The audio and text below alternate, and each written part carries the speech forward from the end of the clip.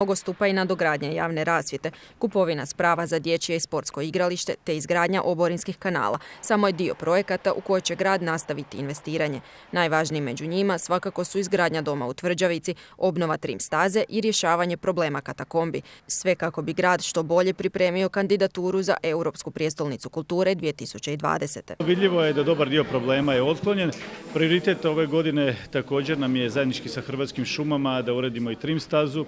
Drago mi je što s udrugom Panonijan e, dogovaramo se oko preseljenja i izmještanja samog skate parka, on bi bio vjerovatno na lijevoj obali. Ovih dana ćemo imati završne sastanke, prema tome izdefinirati i taj dio. No, jasno da želimo i da trim staza bude uređena na jednoj visokoj razini, prema tome očekujemo uskoro ugovor sa Hrvatskim šumama, a onda ćemo urediti sprave. Uređivat će se i Barutana i to u suradnji s Umjetničkom akademijom koja će tamo organizirati razna događanja i projekte. Predsjednica mjesnog odbora Lucija Tadić nije imala nikakvih primjedbi na zaključak radnog sastanka. Jedino bi pohvalila i rekla da je suradnja do sada bila izuzetno korektna.